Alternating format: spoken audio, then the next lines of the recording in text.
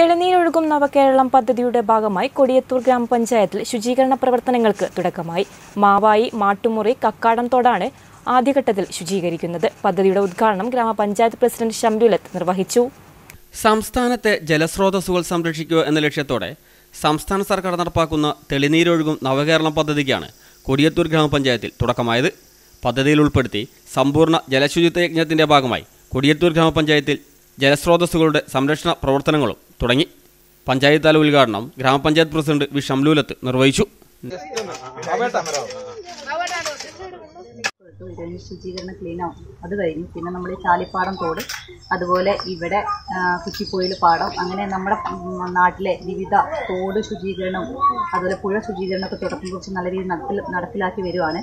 ഈ വാർഡിനെ സംബന്ധിച്ചോളം തികച്ചും വ്യത്യസ്തമായിട്ട് തോട് ശുചീകരിക്കുക ആഴം കൂട്ടുക സൈഡ് കെട്ടുക ബോസ്കം വിരിക്കുക. വളരെ നല്ല രീതിയിലുള്ള പ്രവർത്തനം നടത്തുന്നുണ്ട് വളരെ സന്തോഷം.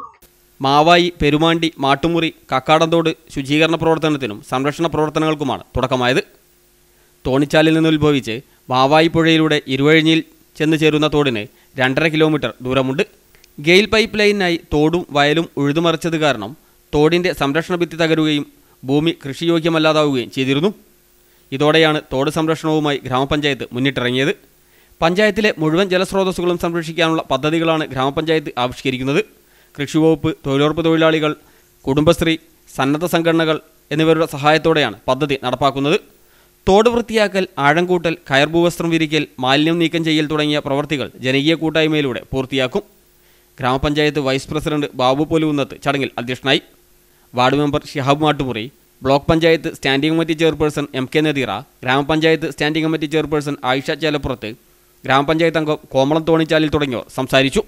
ഹർഷദ് വടക്കയിൽ സുധ സുമതി ജുബൈരിയ ഹസീന തുടങ്ങിയവർ പ്രവർത്തനങ്ങൾക്ക് നേതൃത്വം നൽകി. സി പ്രാദേശിക വാർത്ത മുക്കം.